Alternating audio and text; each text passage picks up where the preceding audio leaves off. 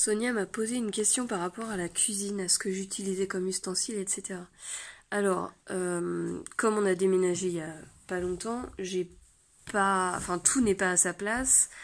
Euh, je euh, m'approprie les placards. donc là, j'ai une cuisine là-bas, une cuisine là. j'ai des trucs là, mais il n'y a pas de place. donc je pense que je ferai une vidéo spéciale euh, genre dans l'hiver quand j'aurai tout euh, reclassé et tout ça. Alors, moi, pour cuire, euh, alors jusque-là, on n'avait que de l'électricité. Là, on a du gaz ici. Moi, j'aime la tôle d'acier. Donc, j'ai une grosse poêle de buyère que j'ai troquée avec une copine. Et j'ai, elle est là, j'ai une une crêpière de buyère aussi. La crêpière, je l'avais achetée. La crêpière, elle me sert très très souvent. La grosse poêle un peu moins. Mon mari, lui, ne voit que par l'inox. Donc lui, il a une poêle comme ça qui n'a plus de manche. Le manche est tombé, mais il s'en sert comme ça. La cocotte minute me sert pour faire les conserves, euh, stérilisation principalement de, de légumineuses. Euh, parce que euh, comme ça j'ai toujours des légumineuses prêtes. Donc je fais soit euh, je peux mettre dedans, je crois que c'est 8 litres. Je peux mettre 3 bocaux d'un litre ou alors je fais des petits bocaux style euh, bonne maman, les, la confiture et j'en mets 5 5 ou 6, je sais plus en fond.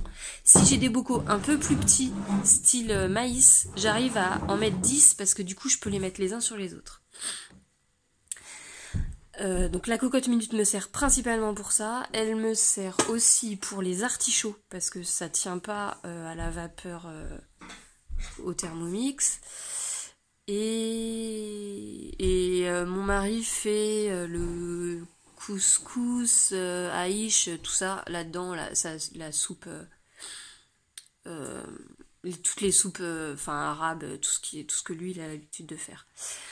ma cocotte, je l'ai eu pour mes 18 ans. C'était un kit avec cette casserole-là et deux autres tailles.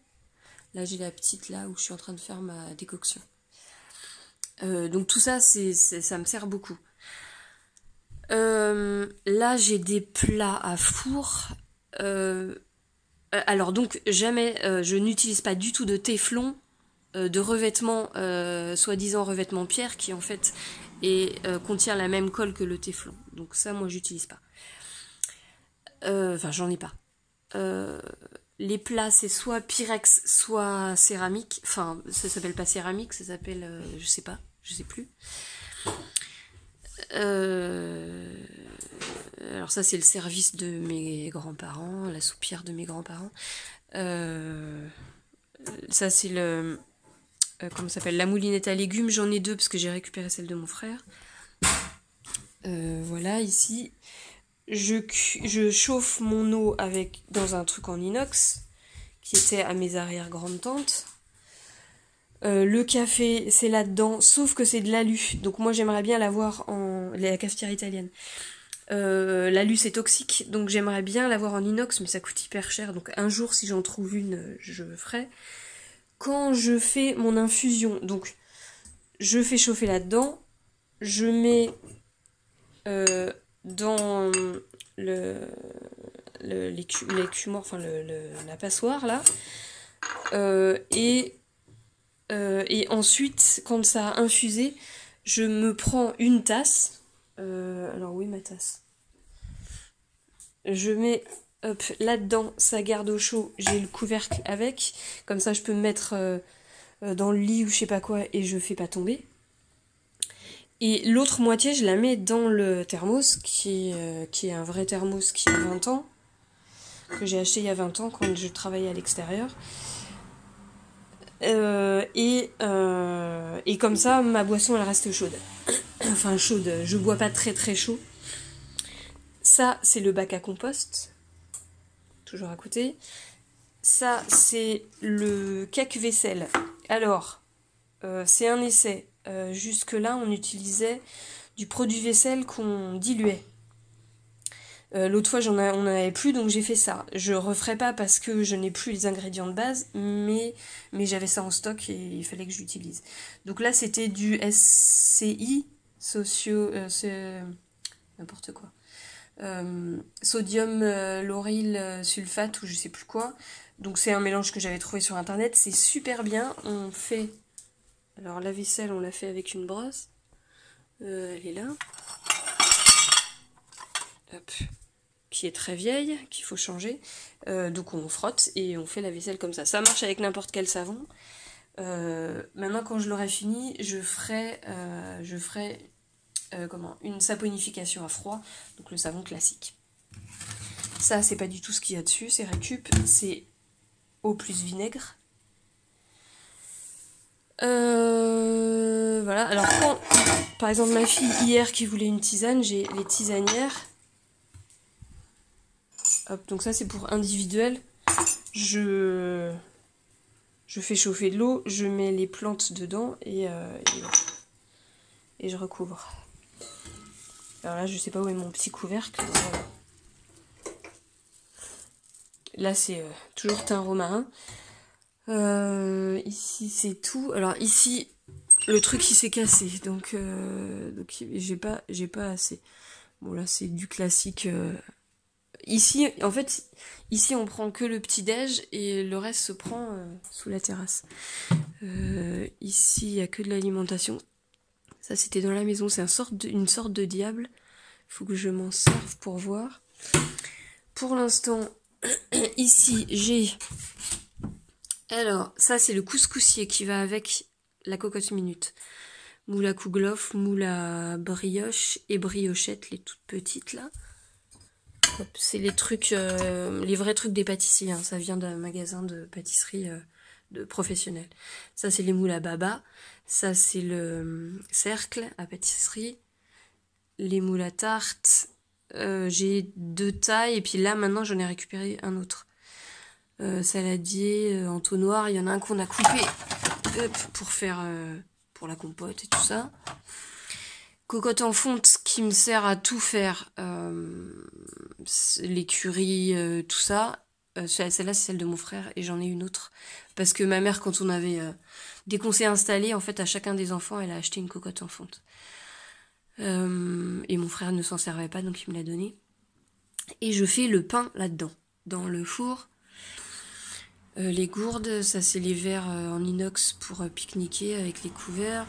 Bon, après, j'ai plein de trucs de pâtisserie. Hein. Euh, tout ce qui est euh, plein d'ustensiles euh, divers.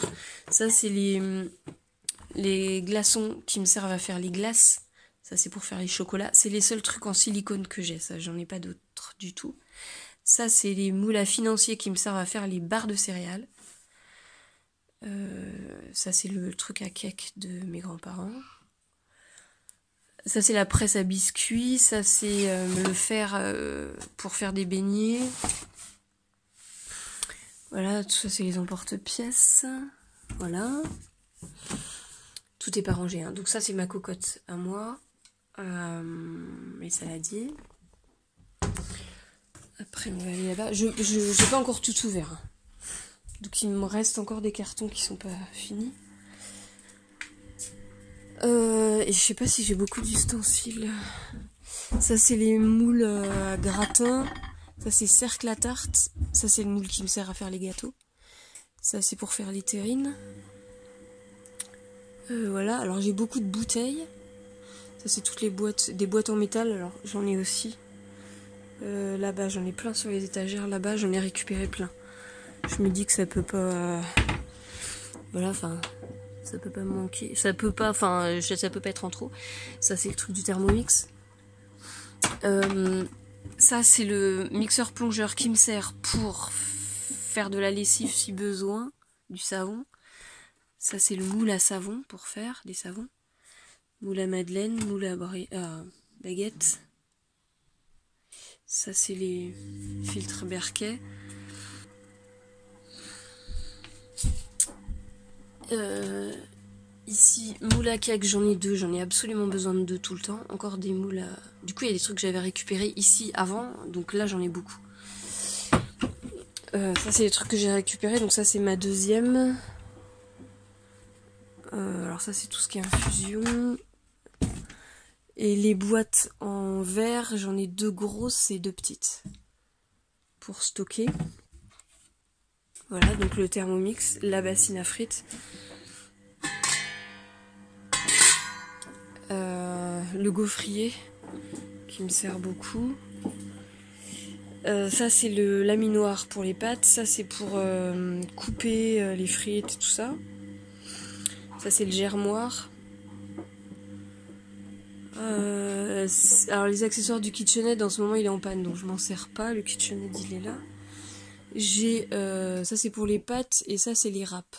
Ça c'est un spiraliseur le truc pour faire les raviolis, ça c'est un thermomètre, une cuillère euh, qui pèse. Voilà. Euh, là, voilà, je, je, ferme même pas pour l'instant. Et ici,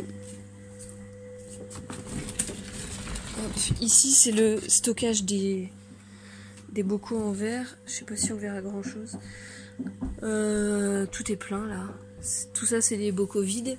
Donc il y a des bocaux à joint pour stériliser et il y a tout mon stockage de graines, de céréales, de machin, tout ça c'est là. Euh, voilà pour ce qui est euh, J'ai le. Le. Euh, comment ça s'appelle? Pour sécher, déshydrateur. Donc le congèle là ne sert pas. Euh, voilà, donc il reste encore des choses. Hein. J'ai pas encore tout déballé. Encore tout ça. Mais bon, c'est pas que de la cuisine. Il doit pas y avoir grand chose de cuisine en fait.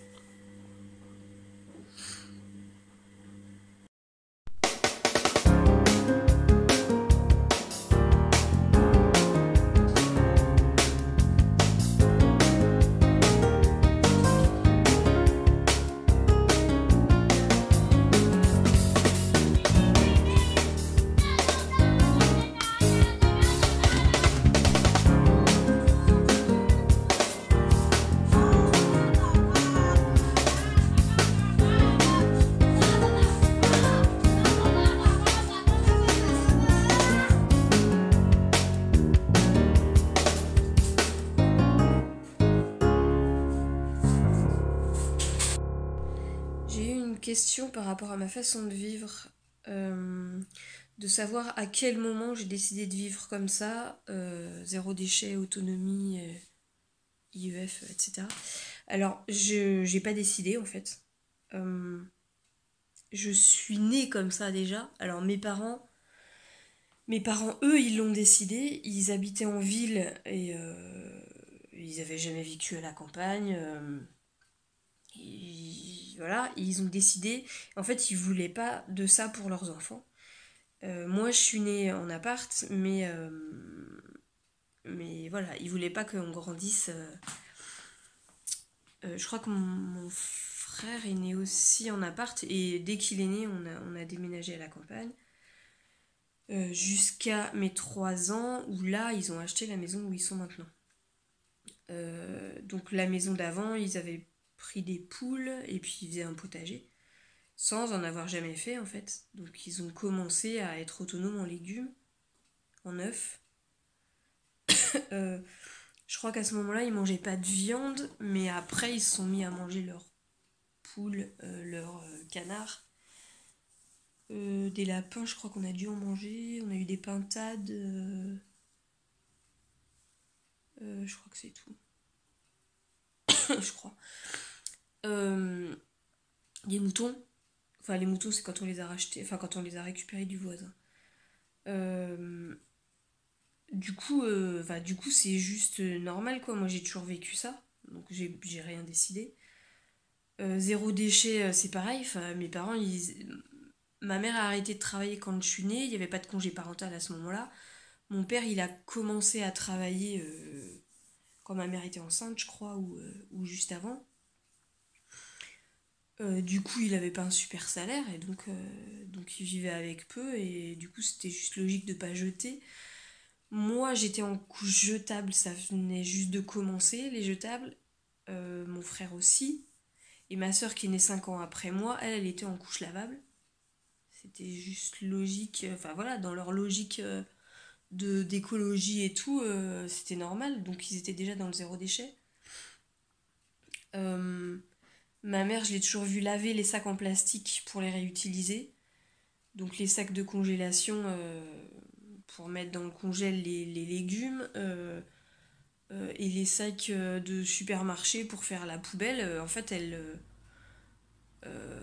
elle mettait les déchets dedans et puis elle vidait dans la poubelle, dans la grande poubelle, et puis après elle lavait le sac et resservait pour la poubelle d'après.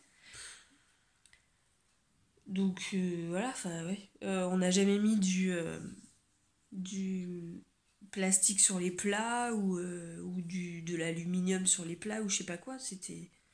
j'ai jamais connu ça. Le, le papier sulfurisé sur les plaques euh, non plus, j'ai pas connu, donc euh, voilà. Donc j'ai rien décidé. L'IEF, euh, c'est pareil, c'est venu naturellement. quand j'étais enceinte de ma première, je suis tombée sur le forum de l'arbre à bébé. Je cherchais les couches lavables parce que j'étais au chômage. je voulais pas que ma fille porte des couches chimiques. Les couches jetables écologiques, ça coûtait super cher. Et les couches lavables, ça coûtait super cher. Donc je, je voilà, j'avais j'avais 800 euros par mois, un truc comme ça. Plus je venais de déménager et j'allais redéménager. Euh, donc j'avais pas d'argent et j'avais pas envie de mettre, euh, je sais pas combien ça coûte, 15 euros la couche. Euh, il en faut une vingtaine. j'avais absolument pas ça. donc j'ai cherché sur les couches lavables, je suis tombée sur l'arbre à bébé qui parlait de cododo dont j'avais pas entendu parler, de portage, de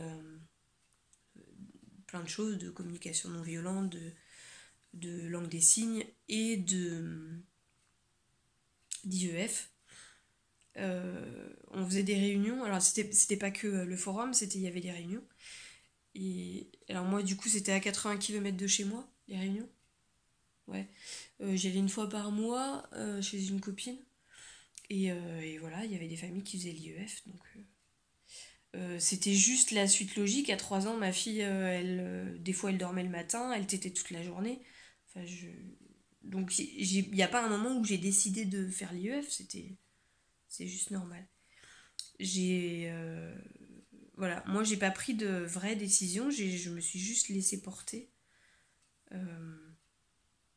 par ce qui me semble logique.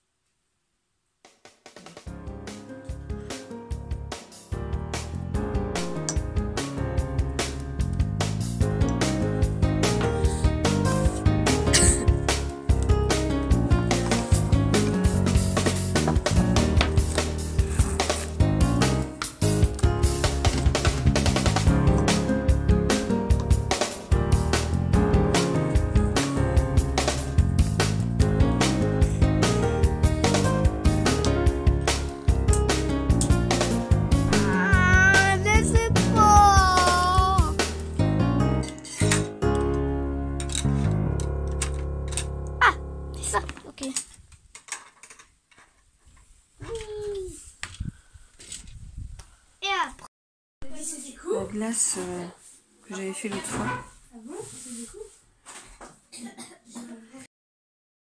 Je clôt ici, j'ai pas le temps, je voulais euh, montrer euh, ce que j'allais faire comme loisir créatif au mois d'août, mais là j'ai vraiment pas le temps. Donc demain je ferai une vidéo exprès pour ça. Et peut-être que le mois d'après j'arriverai à faire un bilan, on verra. A bientôt.